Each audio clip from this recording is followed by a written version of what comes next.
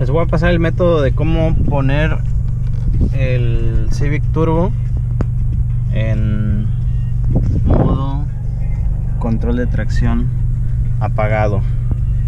Y me refiero a apagado definitivo porque si se fijan ahí hay dos dos iconos o dos testigos más bien.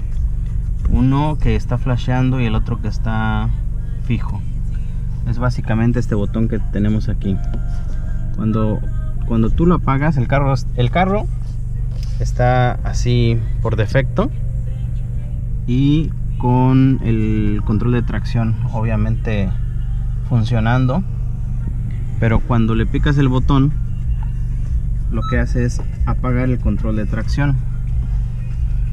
Esto pues hace que permita a las llantas patinar y que las revoluciones lleguen un poco más arriba pero hay un método el cual te permite apagar totalmente el control de tracción y así la computadora ya no ya no pues te, te baja las revoluciones.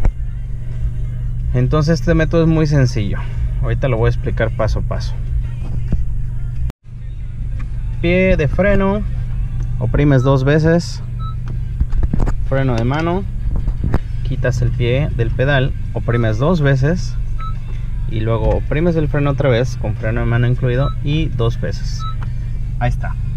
Así se quita el control de tracción totalmente